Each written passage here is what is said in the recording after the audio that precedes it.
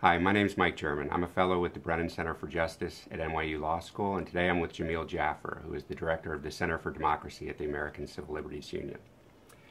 Jameel, President Obama recently made news in responding to questions about the CIA's rendition uh, interrogation program, where he said, We tortured some folks.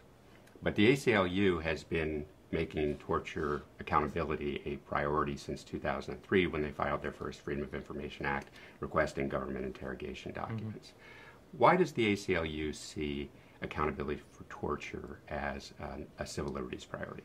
Mm-hmm.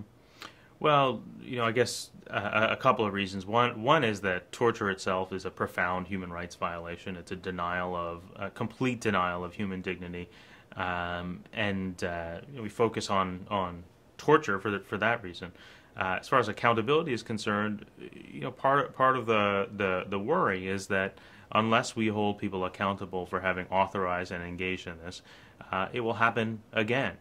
Um, and uh, you know, there is something actually a little bit frustrating about this accountability conversation. You know, when some when somebody um, uh, when somebody commits uh, a serious crime, murder somebody, or, mm. um, or, or, or even uh, steals a lot of money, you know, there's very rarely a conversation about, well, you know, why have accountability for that kind of thing? We sort of accept that it's a good idea to have account uh, accountability for serious crimes because uh, you want to make sure that there's a disincentive to, to committing those kinds of crimes. Uh, and that's part of the reason we think it's important to hold people accountable here. You know, we didn't expect to be litigating or working on this set of issues. This is something that we got involved in, in, in, as you said, 2003. There were a couple news articles that suggested that maybe something was going wrong in the detention centers, in the military detention centers, and the CIA's detention centers.